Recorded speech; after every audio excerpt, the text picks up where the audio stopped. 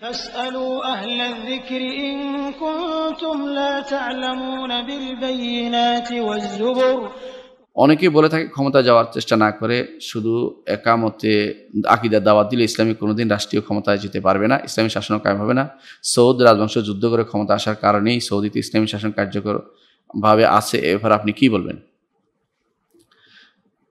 দেখুন আল্লাহ তালা প্রত্যেককে তার দায়িত্ব অনুসারে জিজ্ঞাসা করবেন আপনার দায়িত্ব যতটুকু অটুকু আয় করেন, আর অতিরিক্ত নফল কাজটা আপনি না করলে আপনাকে জিজ্ঞাসা করবে না। ইসলামী রাষ্ট্র প্রতিষ্ঠা করা হচ্ছে অতিরিক্ত দায়িত্ব।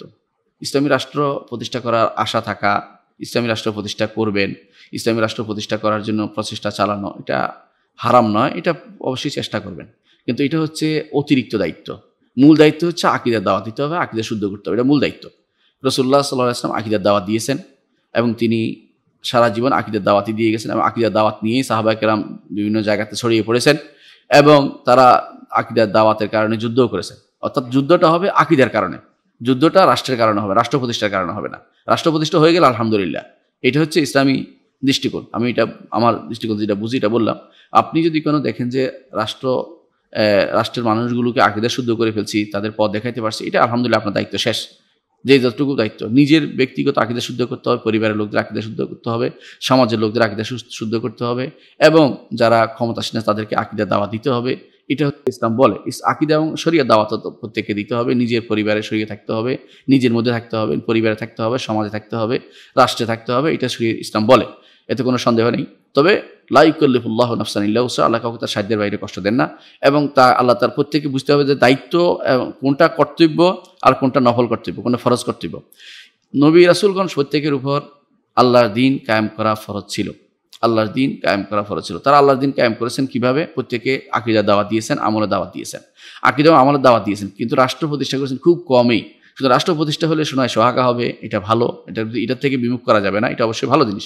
কিন্তু এটা হবে কখন? ওয়াদাল্লাহুল্লাদিন আমানু আমিল সালিহাতি ইলা ইস্তাখলিফান ফিল আরদ। আল্লাহ তালা ওয়াদা করেছেন, যারা ইমান এবং আমল সালে করবে, তাদেরকে আল্লাহ তালা দুনিয়ার সুপ্রতিষ্ঠিত করবেন। সুতরাং আজ যারা ইসলামী রাষ্ট্র কায়েম করার জন্য চেষ্টা চালাচ্ছেন, তারা ইসলামী রাষ্ট্র চেষ্টা করছেন, ভালো একটা কাজ। কিন্তু তারা আগে এর আগে চেষ্টা করা উচিত, নিজেদেরকে আকিদাগত পরিশুদ্ধ করা উচিত। আকিদাগত পরিশুদ্ধভাবে তিনি যেই রাষ্ট্র কায়েম করবেন, সেই রাষ্ট্র কিসের দিক, কিসের রাষ্ট্র হবে? যদি সেটা ওয়াহাদাতুল রাষ্ট্র হয় যদি তারা সর্বেশ্বরবাদের দিকে তা- ডাকা, যদি সেটা যদি কোনো আল্লাহর নাম গুণকে অস্বীকারী একটা রাষ্ট্র হয়, তাহলে কিসের জন্য দাওয়াত? কিসের ইসলাম পাই পালন করছে তারা? তাই ইসলামের মূল যে জিনিস, মূল যে স্পিরিট মূল যে শক্তি মূল যে দাবি, সেটা হচ্ছে আল্লাহ তাহিদ প্রতিষ্ঠা করা, এটা তো তাদের দ্বারা প্রতিষ্ঠিত হয়নি। তাহলে তারা কিসের জন্য, কিসের দাওয়াত দিচ্ছে, এটা আগে তাদের জেনে নিতে হবে। যারা দিন কায়েমের জন্য চেষ্টা করছে, দিন আকিদা কায়েম করতেছে, তারাই কিন্তু দিন কায়েমের চেষ্টা করতেছে। অথচ যারা আকিদার কাজ করে যাচ্ছে, তারা দিন কায়েমের চেষ্টা করতেছে। এদের থেকে যদি বাড়তে বাড়তে যদি কোনো আকিদের পরিশুদ্ধ হয়, তারপর যদি কোনো দিন কায়েমের দিকেও যায়, রাষ্ট্র, দিন কায়েম অর্থাৎ রাষ্ট্র প্রতিষ্ঠার দিকেও যায়, তাহলে আরও বেশি আরও বেশি বেগবান হয়, তাহলে এটা শরীয়তে নিষেধ নেই। কিন্তু মূল দায়িত্ব একজন মানুষের হচ্ছে আকিদা পরিশুদ্ধ করা, আমল পরিশুদ্ধ করা, এটা হচ্ছে মূল দায়িত্ব। আকিদা এবং আমল পরিশুদ্ধ না হলে কোনো কিছুই পরিশুদ্ধ হবে না, কোনো কোনো কাজে আসবে না। আপনি সারা দিন যদি কোনো, আপনি গাছের গোড়া কেটে দিয়ে, উপর দিয়ে পানি ঢালেন, সেটা কাজে লাগবে না। আপনাকে অবশ্যই মজবুত করতে হবে। আসলুহা তায়াবিতু নফারুহা বিস্তামা আল্লাহ তালা যেটা কোরআন কারিম বলেছেন, মাসালু কালিমাতিন তৈবাতিন কাসাজিরাতিন তৈবাতিন আতলুহা তায়াবিতু নফারুহা বিস্তামা যে মাসালু কালিমা তৈবা লাহ ইল্লাল্লাহ, কালিমা তৈবা লাহ ইল্লাহর উদাহরণ দিচ্ছেন আল্লাহ তালা আসলুহা তায়াবিত। মজবুত হয়ে আছে ইমানদারের অন্তরের ভিতরে কোনো দিন না, এদিক সেদিক নড়াচড়া করে না। কালিমাতুল্লাহ ইল্লাহর অর্থই যেখানে এই মানুষগুলি বুঝে না লাইলিল্লার অর্থই যেখানে করা হয়, আল্লাহ ছাড়া কোনো সার্বভৌম অধিকারী নেই, আল্লাহ ছাড়া কোনো ক্ষমতার অধিকারী কেউ নেই, আল্লাহ ছাড়া কারও কোনো আইনদাতা নেই, বিধানদাতা নেই। এগুলি লাইলিল্লার অর্থ নয়। এগুলো লাইলিল্লাহ অবশ্যই এগুলি সাব্যস্ত করে। হ্যাঁ এগুলি অবশ্যই বাধ্যতামূলক। কিন্তু এগুলিকে লাইলিল্লার অর্থ নেওয়া এর পরবর্তী ধাপ হচ্ছে লাইলিল্লাহ। সেটা কি? আল্লাহ তালা ছাড়া কেউ আইনদাতা নেই, বিধানদাতা নেই। আমি আল্লাহকে আইনদাতা মানি, বিধানদাতা মানি। ওই অংশটুকু হচ্ছে আল্লাহকে আমি তারই আবাদত করি, তারই আমি কর্মকাণ্ড করি। সেটুকু হচ্ছে লাইলিল্লার অর্থ। আমার কাজ কি? সেটা হচ্ছে লাইলিল অর্থ। শুধু বিশ্বাস করাটা লাইল অর্থ, বিশ্বাস করাটা হচ্ছে রুবিয়তের অংশ।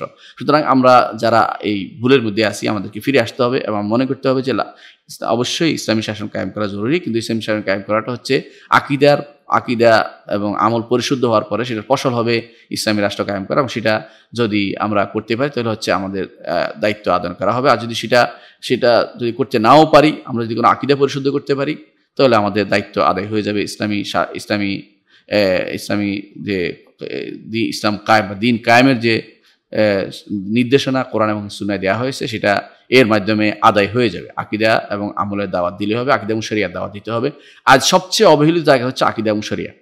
শরিয়া বিশ্বের কোথাও পড়ানো হয় না, শুধুমাত্র আরব দেশে কয়েকটি রাষ্ট্র ছাড়া। বিশ্বের সব জায়গায় শরিয়া এখন নিন্দিত। অনেকেই শরিয়া শব্দ শুনলে তারা, তাদের মাথার ভিতরে ভয় ঢুকে যে হাত পেটে হাত পা কেটে দিচ্ছে, বা এই করছে সেই করতেছে, বা মেরে ফেলতেছে, গুলি করতেছে, পাথর মারতেছে, এগুলি মাথার ভিতরে ঢুকে আসে। শরিয়া শুধুমাত্র হদুদ নয়, শরিয়া ব্যাপক জিনিস। শরিয়া ব্যাপক জিনিস, শরিয়া মানুষ, একজন মানুষের জীবনের শুরু থেকে শুরু জীবনের দুনিয়া থেকে আসার আগ থেকে শুরু হয় দুনিয়া মৃত্যুর পর পর্যন্ত গিয়ে পুরো কাজটাই তার শরিয়াত শরিয়াতের অন্তর্ভুক্ত। এর কোনো অংশ শরীয়তের বিধি- বিধিবিধানের বাইরে নেই। সুতরাং এটা মানতেই হবে। শরিয়া নাম, না মানার কারণে, শরিয়া না মানার কারণে আজ বেশিরভাগ মানুষই যারা অনেকে ইসলামের কথা বলে, আবার দেখবেন যে তারা গণতন্ত্র মানছে, সমাজতন্ত্র মানছে, বিভিন্ন তন্ত্রমন্ত্রে বিশ্বাসী হয়ে যাচ্ছে, নতুন নতুন তন্ত্র আবিষ্কার করছে, এক একজনে এক একটা থিওরি দিচ্ছে। কিন্তু শরিয়া মানার ক্ষেত্রে তাদের কোনো চিন্তা ভাবনা শরীয়ত নিয়ে। তারা মনে করে শরীয়ত চলবে ঘরের ভিতরে।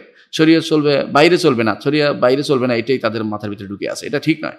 শরিয়া অবশ্যই প্রত্যেক জায়গাতে সেটা অ্যাপ্লিকেবল এবং শরীয়কে মানতে হবে। প্রত্যেক ঘর বাইর সমাজ, রাষ্ট্র, সব জায়গাতে শরিয়াকে প্রতিপালন করতে হবে, মানতে হবে। আপনার কথার, আচার, আচরণ সব কিছু শরীয়ত নির্ধারণ করে দিয়েছে। শরীয়ত অনুসারে আপনাকে চলতে হবে। আর আকিদার বিষয়টি আরও জরুরি, কারণ শরিয়া যদি আকিদা ভিত্তিক না হয়, তাহলে সেটা আবার গ্রহণযোগ্য হবে না। আপনি যদি কোনো আল্লাহ সম্পর্কে কোনো খারাপ ধারণা পোষণ করেন অথবা আল্লাহ তালার অধিকারকে অন্য কাউকে প্রদান করেন, অথবা যদি কোনো আল্লাহ তালার সিফাত সময় অন্য কাউকে দান করেন আল্লাহ সিফাতকে অস্বীকার করেন, তাহলে আপনি সরিয়া পরিবর্তন করে আপনার জন্য কোনো লাভ হবে না, কারণ আপনি আকিদাতে হেরে গেছেন, প্রথম জায়গাতে আপনি হেরে গেছেন। এই জন্য যারাই বলে যে আকিদা আকিদার দাওয়াত থেকে তারা মানুষকে বিব্রতকর মনে করে, বিব্রতকর মনে করে। অনেকে আকিদার বই দিলে নিতেও চায় না, বলে যে আকিদার বই বহুত কিছু আকিদার বই দিয়ে মানুষের বিভ্রান্তি সৃষ্টি হয়। যারা এগুলি বলে করে তারা নিজেরাই বিভ্রান্ত, তারা পথভ্রষ্ট। তারা কোনোদিন হেদায়ত পাবে না, তারা পথভ্রষ্ট হিসেবে তারা কবর চলে যাবে। আকিদের আকিদ দাওয়াতকে ব্যবহার করতে হবে, আকিদের দাওয়াত ঘরে দিতে হবে, পরিবারকে শিখাতে হবে। প্রথম সন্তানকে এটাই শিখাতে হবে। রসুল্লাহ সাল্লাহ ইসলাম সাল্লাহ আলাইসলাম তিনি তিনি আব- আব্দুল্লাহ আব্বাস রাদিয়াল্লাহু দশ বছরের একটি বালককে পিছনে বসিয়ে শিক্ষা দেন, ইয়া গোলাম ইয়াহফাজুকা প্রথম কথা হে বৎস, আল্লাহর হেফাজ করে আল্লাহ তোমার হেফাজ করবেন। আল্লাহর হেফাজ কি? আল্লাহ তাহিদের হেফাজ করে। সবাই এটা ব্যাখ্যা করেছেন। তাহিদের হেফাজকে প্রথম দায়িত্ব নিতে হবে। রসুল্লাহ সাল্লাহ আসলাম তাহিদের হেফাজ দায়িত্ব, দাওয়াত দিয়েছেন। মক্কায় তেরো বছর তাহিদ দাওয়াত দিয়েছেন। মদিনায় দশ বছর তাহিদ দাওয়াত দিয়েছেন। মক্কায় দশ বছর শুধু তাহিদ দাওয়াত ছিল। সেখানে কোনো সলাৎ ফরজ ছিল না জাকাত ছিল না সম ছিল না, হজ ছিল না। তো তিনি এই যে দাওয়াতটা দিয়েছে, এই দাওয়াতটাকে গৌণ করে দেখা হচ্ছে আজ। দুর্ভাগ্যবশত। এবং এটার কারণে আজ আমাদের সমাজে না ইসলাম প্রতিষ্ঠা হচ্ছে, না দিন প্রতিষ্ঠা কোনো কিছু প্রতিষ্ঠিত হচ্ছে না। এই জন্য আকিদার দাওয়াতটাকে বেগবান করতে হবে, যে আকিদার দাওয়াতের মাধ্যমেই মূলত শুরু করতে হবে। আপনি যে কথাটি বলছেন, সৌদি রাজবংশের কথা, সৌদি রাজবংশ আকিদার দাওয়াতের মাধ্যমে উঠে উঠে এসেছে, মনে রাখবেন। একমাত্র আকিদার দাওয়াতকে তারা যখন নিজেদের কর্মকাণ্ডে সব কিছু বানিয়ে নিয়েছেন, তখনই আল্লাহ তালা তাদেরকে সাহায্য করেছেন। আল্লাহ তালা কোরআনে কেরিমে যে ওয়াদা করেছেন সে ওয়াদা আল্লাহ তালা পূর্ণ করেছেন। ওয়াদ আল্লাহুল্লাদিন আমন ও আমিল সালিহাত লেস্তাখলিফান্নাম ফিলার তারা আকিদার দাওয়াত নিয়ে গিয়েছেন এই জন্য আল্লাহ তালা তাদের সাহায্য করেছেন। সুতরাং আপনি আকিদার দাওয়াত নিয়ে আগান, আল্লাহ তালা আপনাকে সাহায্য করবেন। আকিদার দাওয়াতকে বেগবান করেন, আকিদার দাওয়াতকে আপনার অধীন আপনার কথা যারা শুনে তাদের সবাইকে জানান যে আকিদে, এই আকিদে, এই আকিদা পোষণ করতে হবে। এই আকিদার বাইরে একটু আকিদা কেউ পোষণ করতে পারবে না। এবং এই আকিদার দাওয়াত দিতে হবে, এই আকিদার মানুষকে প্রচার প্রসার করতে হবে, তাহলে আপনার ইসলাম প্রতিষ্ঠিত হবে এবং ইসলামী রাষ্ট্র প্রতিষ্ঠিত হবে এবং সেটা আপনার জন্য হবে কল্যাণকর। আর যদি সেটা না করেন, তাহলে সেটা কখনো কল্যাণকর হবে না। আপনি দেখেন শেখুল ইসলাম মোহাম্মদিন আবদুল্লাহ রাহমুল্লাহ যার সাথে একসাথ হয়ে সৌদি রাজবংশ ক্ষমতা এসে তারা কিন্তু ইমাম মোহাম্মদ বিন সৌদের সাথে তিনি কিন্তু এক চুক্তিতে এসেছেন যে আমি দাওয়াত দিব আকিদা। তুমি তোমার সেনাবাহিনী নিয়ে তুমি বাকিগুলি করব, কিন্তু আমি দাওয়াতের কাজ করব। ঠিক তারা আজও দাওয়াতের কাজ করে যাচ্ছে। যে আলু শেখ যারা প্রত্যেকে দাওয়াতের কাজের মধ্যে এখনও আছে। আলহামদুলিল্লাহ তাদেরকে আল্লাহ তালা এমন পর্যন্ত তাদের পরিবারকে দাওয়াতের মধ্যে রাখুন, এই দোয়াই করি। কিন্তু আমাদের আপনার উচিত হবে, যারা আলেম, যারা জ্ঞানী, তারা প্রত্যেকের উচিত হবে প্রথম দায়িত্ব হচ্ছে আকিদা দাওয়াতকে বেগবান করা এবং সেটাকে সব জায়গায় প্রচার প্রসার করা। এবং এর মাধ্যমে যারা সহযোগিতা করবে আকিদা দাওয়াতকে তাদের আল্লাহ তালা তাদেরকে দিয়ে ক্ষমতায় বসাবেন। মনে রাখবেন যদি কোনো কেউ আকিদ দাওয়াতকে প্রসার করে, প্রচার, প্রসার প্রসার করে, তাহলে আল্লাহ তালা তাদেরকে তাদেরকে সব কিছু তাদেরকে দিবেন এবং তাদের মধ্যে আল্লাহ তালা যেটা ওয়াদা করেছেন যে আল্লাহ তালা ওয়াদা করেছেন যে যে সমস্ত জনপদ, যে সমস্ত জনপদ যদি আল্লাহর দি, আল্লাহর দিনকে মেনে চলে, আল্লাহ তালার কথা মেনে চলে, আল্লাহ বিধানকে মেনে চলে, আল্লাহ তালা তাদেরকে ওয়াদা করেছেন।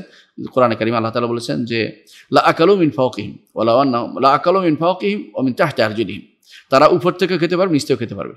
অর্থাৎ উপর থেকে আল্লাহ তালা তাদের জন্য বৃষ্টির ব্যবস্থাপনা করে দিবেন, রিজিকের ব্যবস্থাপনা ফয়সালা উপর থেকে হয়, সেটা করে দিবেন। আর নিচে, অর্থাৎ মাটির নিচ থেকে তাদের জন্য খনিজ সম্পদের ব্যবস্থাপনা করে দিবেন, যেটা আমরা সৌদি রাজবংশের অবস্থার মধ্যে দেখতে পাই, যে আল্লাহ তালা তাদেরকে উপর নিচ সব দিক থেকে বর্তমানে যে সমস্ত তাদেরকে দিয়েছেন, আগে আরও বেশি দিয়েছেন, এখন অনেকেই তাদের অবস্থার কারণে আল্লাহ তালা তাদের কমিয়ে দিচ্ছেন। কিন্তু আল্লাহ তালা যখন তারা দিন প্রতিষ্ঠা করেছে, তখন তাদেরকে আল্লাহ তালা সব দিক থেকে দিয়েছেন, অর্থাৎ দিন প্রতিষ্ঠা, তাদেরকে আকিদের ভিত্তিক তখন এগিয়ে গিয়েছে। মালিক ফাহাদ রহমতুল্লাহ আলী তিনি একবার মদিনাতে, তিনি আমাদের মুসলিম আমাদের মদিনা ইউনিভার্সিটিতে একবার তিনি একটা ভাষণ দিলেন। সেই ভাষণে তিনি বলছেন যে, আমার বাবা যখন, আমার বাবা যখন তিনি খুদ, এই রাষ্ট্র, ইসলামী রাষ্ট্র প্রতিষ্ঠা করেন তখন এই রাষ্ট্র যখন প্রতিষ্ঠান তখন কোনো তেল ছিল না, সেখানে কোনো কিছুই ছিল না। অর্থাৎ তেল যে, তেল পাইলে যে, এই যে বর্তমানে পেট্রোলের পেট্রোলের কারণে তিনি ইসলাম প্রতিষ্ঠা করেছেন, কথাটা এরকম না। বরং তিনি বলছেন একমাত্র আল্লাহর দিকে তাকিয়ে, আল্লাহ খুশি করার জন্য করেছেন। সেখানে তিনি খাবার পেতেন না, অনেক সময় এমন অবস্থা ছিল।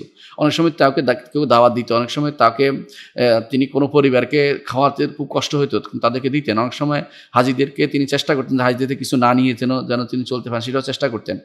আল্লাহ তালা তার এই ত্যাগের ত্যাগটাকে কবুল করেছেন এবং পরবর্তী জেনারেশন মালিক সৌদের সময় এসে তারা চতুর্দিক থেকে তারা দেখতে পেলেন যে আল্লাহ তালার মাটির নিচ থেকে তাদের জন্য সেই খনিজ সম্পদের ব্যবস্থাপনা করে দিয়েছে, এই জন্য তারা পেট্রো ডলার মালিক হয়েছে, ধনী হয়েছে।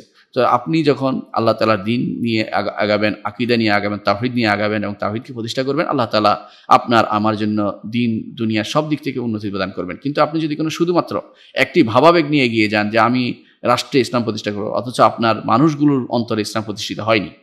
আপনার মানুষগুলো অন্তরে পর্যন্ত ইসলাম নেই, তাদের আকিদা শুদ্ধ হয়নি, তাদের ইমান শুদ্ধ হয়নি, যাদের উপর আপনি রাজত্ব করবেন, তারা কিছুই জানেন ইসলাম সম্পর্কে। এই দেশের যদি আবদুল্লাহ জাহাঙ্গীর স্যারের ভাষায় বলতে হয় তার ভাষায় বলতে হয় যে নব্বই পার্সেন্ট তিনি বলছেন নিরানব্বই পার্সেন্ট আমি নব্বই পার্সেন্ট বলি। নিরানব্বই পার্সেন্ট তিনি বলছেন যে মানুষ এদেশে ইসলাম বুঝে না, ইসলাম থেকে তারা দূরে। সেরকম বলতে হয় আমাকেও যে আসলেই এদেশের মানুষ ইসলাম বুঝে না। সেখানে আপনি এত দ্রুত স্বপ্ন না দেখে মানুষের ভিতরে তাওহিদের দাওয়াত দেন, এটা আপনার জন্য আপনার দায়িত্ব আল্লাহ তালা যা দিয়েছেন সেটা আদায় হয়ে যাবে। এ রাষ্ট্র প্রতিষ্ঠা করা আপনার অতিরিক্ত দায়িত্ব, সেটা করতে পারলে করবেন, না করতে পারলে কোনো গুণা হবে না। এটা নিয়ে যারা বলেন যে গুণা হবে, তাদের সেটা সঠিক কথাটি বলে না। আপনার দায়িত্ব, যদি আপনি হ্যাঁ এমন পর্যায়ে এসে যান যে আপনার এখন ক্ষমতা আছে সক্ষমতা আছে, ইচ্ছাগুলো আপনি ক্ষমতা যেতে পারেন এবং তাহলে আপনার জন্য সেটা মূল দায়িত্ব হিসেবে এসে যাবে, তখন আপনাকে সেটা প্রতিপালন করতে হবে। যখন এই জন্য আল্লাহ তালা বলেছেন আল্লাহ দিন ইমাক্কার নাম ফেলা তাদের ক্ষমতা দিলে। ইমান ইমাক্কার নাম ফেলে আকামু সালাত আতাউ জাকাত আমরুবিল মাউরুফ নাহা আনিল মুনকার নাহু আনিল মুনকার ইল্লাহ আকবাতুল উমুর। যাদেরকে আল্লাহ তার ক্ষমতা দেয় যদি আপনার ক্ষমতাধর হয়ে যান, তখন আপনার সেটা কর্তব্য। যারা রাষ্ট্রীয় ক্ষমতা তাদের জন্য সেটা কর্তব্য। আল্লাহ দিনকে প্রতিপালন করা, আল্লাহ দিনকে সরিয়ে আকিদা সব দিক থেকে সেটাকে বাস্তবায়ন করা তাদের জন্য কর্তব্য। অথবা যারা ক্ষমতা যেতে পারবে, এরকম পর্যায়ে চলে গেছে, তারাও সেটা করতে পারবে। তাদের তাদের জন্য নিষেধ না যারা সাধারণ মানুষ আছে, যারা আলেম আছে, তাদের জন্য ওইটা চিন্তা ভাবনা না করে, তাদের চিন্তা ভাবনা করা উচিত। নিজের পরিবার, সমাজ তাদের তাদের পরিবার, তাদের নিজের, নিজেদের এবং তাদের পরিবারদের এবং সমাজের প্রত্যেকের আকিদা পরিষদ করার চিন্তা করতে হবে। রাষ্ট্রীয়ভাবে যেটা হলে দাবি থাকবে, কিন্তু না হলে কোনো গুণা হবে না তাদের। এই গুণার কথা তারা বলে, তারা কোনো দলিল দেখাতে পারবে না। আশা করি বিষয়টি আপনার বুঝে আসছে।